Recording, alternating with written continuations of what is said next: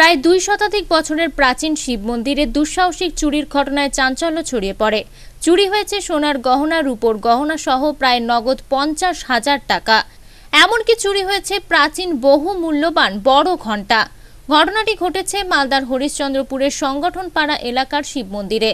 এই এলাকায় সম্প্রতি চারটি মন্দিরে চুরির ঘটনা ঘটেছে। এলাকাবাসীরা অভিযোগ করেন, একদল মাদকাসক্ত যুবকের দৌরাত্ম্য এই এলাকায় ক্রমেই বেড়ে চলেছে। তারাই হয়তো নেশার টাকা জোগাড় করতে এই কাজ করেছে। অভিযোগের ভিত্তিতে পুলিশ তদন্ত শুরু করেছে।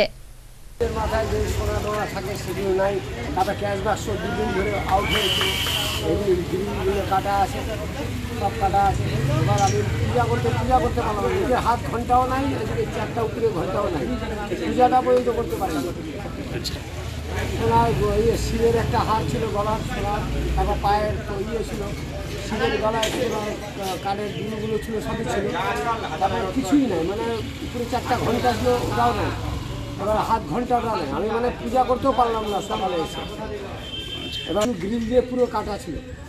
আমি যে তো লাস্টে আমি চলে গেলাম জানালাম জানালা বলছে চুরি হয়ে গেছে। আচ্ছা। সেক্রেটারিকে জানালাম এবার সেক্রেটারি এবার কী করল তখন বলতে পারবে। পূজাটা হলো আমার চা দুদিন এর দুদিন আগেও চুরি হয়েছিল। চার বাক্স চুরি হয়েছিল দুদিন আগে। আচ্ছা। এখানে পাহারা দেয় না পুলিশ আসেই না এখানে। আদৌ পুলিশ আসে না। এখানে একবার একটা পুলিশকেও আমি দেখি না চার দিন ধরে। যা অবস্থা এখানে কোনো পুলিশ টুলিশ নাই। থানাতে গিয়ে ডায়েরি দিতে হয়।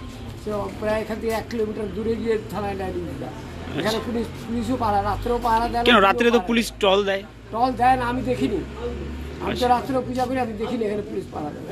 এদেরই যারা করছে তারা এদেরই কাজ যারা ড্রাগস ট্রাগস খায় মদ খাচ্ছে দারু খেয়েছে মদ খেয়েছে এরকম করছে ওদের ছাড়া আর কারোর কাজ নেই। কোনো পাপ ওরা নিতে পারবে এ তো পাপ তো লাগবেই মানে একশো বার লাগবে পাপ। তো। উম, এই অনেক কষ্ট জোগাড় করেছি। এখন আমাদের কী করে কী করব বুঝতে পারছি যদি সরকার দেয় রাজ্য সরকার যদি দেয় এই যে এখন বেকারদের চাকরি নাই চাকরি নিয়ে যা চলছে যা পেপারে পড়ছি গণমাধ্যমে পড়ছি তাতে বেকারত্ব এবং নেশা এখন বন্ধ হয়ে দাঁড়িয়েছে। মানুষের একটা বাংলায় বলে অবসাদ ইংরাজিতে বলে ফ্লাস্ট্রেশন। ফ্লাস্ট্রেশন মিন্স মানুষ যে কোনো খারাপ কাজ করতে পারে। পেপার খুললেই আমরা যে খারাপ কাজগুলো মানুষের দেখি, তাদের জন্য কি প্রতিষেধক দিতে হবে, সেই নিয়ে সরকারের কোনো চিন্তাভাবনা আছে বলে আমার মনে হয় না।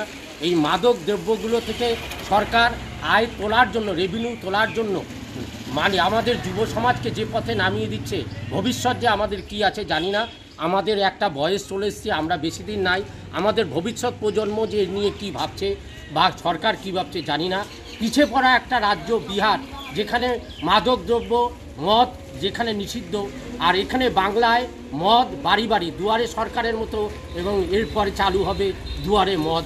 এই বলে আমি আমি আমরা কোনো বলার কিছু নাই। স্থানীয় বাসিন্দারা বলছে ড্রাগস যারা ড্রাগস খাচ্ছে যুব যারা ছেলেপেলেরা তা তা এই কারণেই চুরি ঘটনা ঘটছে। একশো বার। এই পয়সাটা আমি যতদূর জানি আমার চিন্তা শক্তিতে ড্রাগসের নিয়ম আছে, অনেক ধরনের ড্রাগস আছে। রোজ পেপারে বেরোয়, কারা করে, না করে, পুলিশ প্রশাসন কতদূর জানে আমি জানি না। তবে সেই টাইম আছে, আমি যদি পাঁচটায় খাই, আমাকে পাঁচটায় করতে হবে। দরকার হলে মার সোনা, বাবাকে বাবাকে মেরে ধরে আমাকে টাকা জোগাড় করতে হবে। মন্দির তো দূরের কথা। দরকার হলে মানুষের কিডনি বিক্রি করে নেশা খাচ্ছে। এখানে প্রথমে তো চুরি হয়েছে, দানপতি থেকে ভালো টাকা চলে গেছে আমাদের দুবার। মন্দিরের যে সামগ্রীগুলো থাকে ভক্তরা সোনা, গয়না যা দেয় সব তো হিসাব রাখা যায়, সম্ভব হয় না। এখন আমাদের চোখে পড়ার মতো চারটি ঘণ্টা, যার আনুমানিক মূল্য আমরা দেখিয়েছি কুড়ি হাজার। আর সোনা বা যেগুলো মূল্যবান সামগ্রী, এগুলোর দাম আমরা এখনও যাচাই করিনি। সব নিয়ে আমাদের মোটামুটি পঞ্চাশ ষাট হাজার টাকার জিনিস গেছে। মালদা থেকে দেবু সিং এর রিপোর্ট আনন্দ বার্তা।